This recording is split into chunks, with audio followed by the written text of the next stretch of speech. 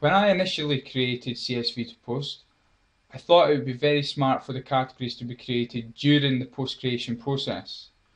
However, I've since realised that that extra work during post creation is affecting the efficiency of the, the, the, the amount of posts we can create all at once or over a period of time. So what I decided is I would encourage users to create their categories early and prepare the blog. So now, we now have a, an approach where we're preparing the blog to receive posts and it could be uh, thousands of posts, even a million posts. And therefore it is really important to get the categories right. Now occasionally there could be bad data or I, obviously bugs could happen or user error. Any one of those things could cause things to go just that little bit wrong. So it is a good idea to make sure that we do have categories right and as we need them, as well as anything else. Now in this video I'm going to just demonstrate the, the fact that CSV 2 POST creates categories. It can avoid creating categories at, uh, based on categories that have been paired to existing ones and it will take account into account categories that already exist. So when we hit the category creation button, if the, the category exists, it doesn't create a duplicate. Alright, so I'll just show you that. Now, I'll prove, first of all, that we don't have any categories other than the, the default. And here we are on the creation screen. I'm just clicking submit. Come back to categories, click on categories there.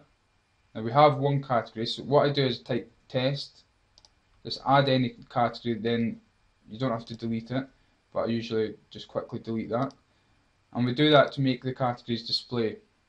Now here we have computers, PC, elite gaming, gaming and personal computer.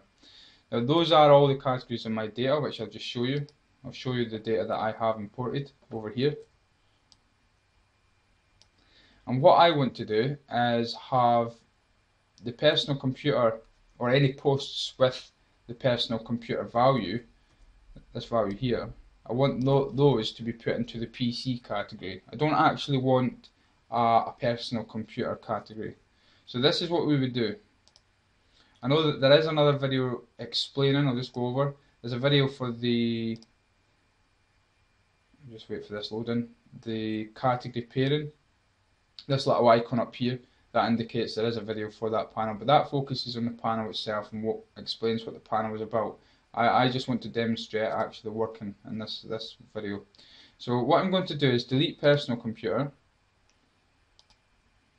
and I'm also going to delete Elite Gaming. Elite Gaming posts will go into gaming, the gaming category in general.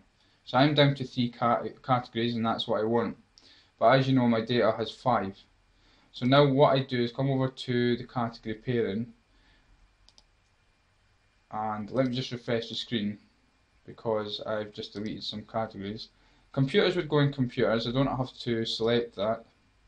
PC would go into the existing PC again, I don't have to select that. Um, but I need to select personal computer. I would, sorry, I need to select PC for personal computer and I would like to select gaming for elite gaming and click submit.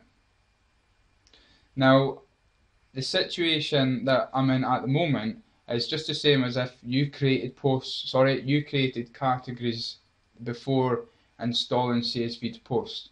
So in terms of the settings and the project that CSV 2 POST is managing, there's there's nothing to that makes any difference. So basically we pretend that I've just installed CSV 2 POST, I have these three categories, but I have extra categories. I've mapped those categories and therefore when I click create posts or click the submission button on the create, create categories.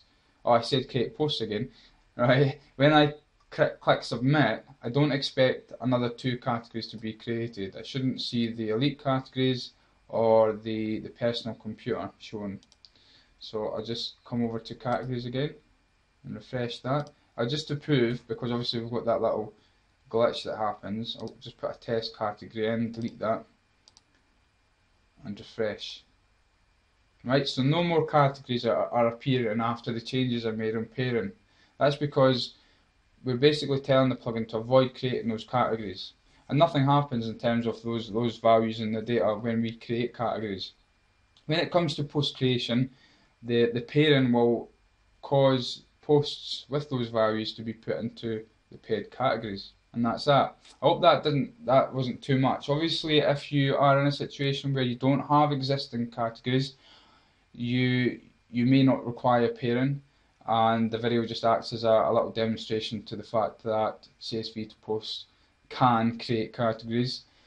The the other thing is the you may have multiple different variations of the same category as I do and you can take the approach what I as I done. Allow all of the categories to be created and then simply delete the ones that you you don't want because uh, it may be a little difficult doing that um, any other way uh, in terms of what I mean is the you have to actually create the you know pre-create some categories at some point and if you have a lot then it may be quicker just going ahead with the you know creating the whole lot of them that's entirely up to you to yourself. What is important is the end result and, and that is the posts and how they get put into the correct categories and that will be demonstrated uh, in a separate video. Alright thank you very much for watching